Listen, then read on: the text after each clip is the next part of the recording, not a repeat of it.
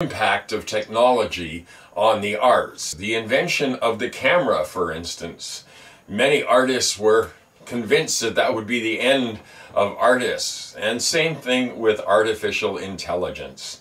And as I pointed out, it has no soul. It can do some stuff reasonably well, um, but it, it will never replace art. Artists have always been engaged in a struggle and in a scraping by existence. And thus it has always been, and it will no doubt always be.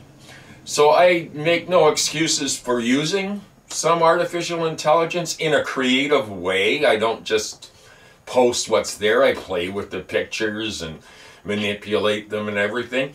It's just another art form.